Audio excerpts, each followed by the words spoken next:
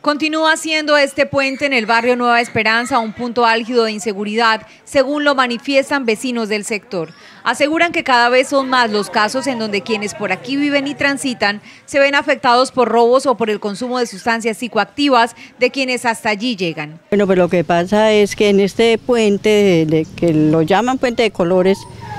se vienen los los viciosos a meter vicio ahí. Ya le da uno miedo pasar por ahí con, los niños, ahí han atracado gente.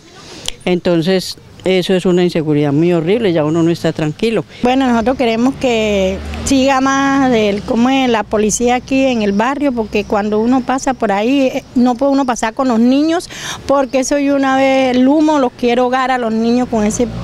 viciosos que andan ahí en el puente y nosotros queremos que como que haya más seguridad. Además de esto, denuncian que hay quienes cobran el ingreso de personas ajenas al barrio o el paso por el puente. Pues cuando entra la gente para acá, pues una vez le piden plata a la gente entonces uno se ve afectado por eso. Nosotros este, hay varios vecinos que tienen su negocio, hay una vecina que tiene su negocio de helado, yo en particular que tengo, manejo mi negocio de calzado, muchas veces que vienen los clientes les cobran la famosa vacuna, les cobran dos mil, tres mil pesos. Si la persona dice que no, entonces le sacan machete, le sacan cuchillo, ya estamos cansados porque muy poquitas veces viene la policía. La comunidad asegura que la policía hace presencia, pero solicitan que éstas sean de mayor control y constancia en la zona. Bueno, pues que estén más pendientes del barrio, que no nos, porque la policía viene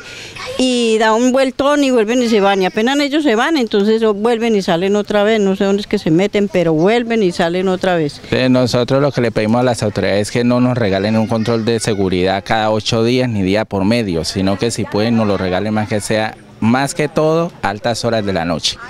porque hay gente que sale en las madrugadas, hay vecinos que, madrugan a, trabajar y, cuando uno sale a hacer este, sus labores a las altas horas de la noche, 3, 4 de la mañana, ya están ellos allá listos para mirar a ver a quién roban, a quién le sacan navaja, a quién le sacan cuchillo, mejor dicho, ya se consideran los dueños del barrio. De esta manera, desde el barrio Nueva Esperanza, hacen el llamado a autoridades para incrementar la seguridad de este sector de la Comuna 5.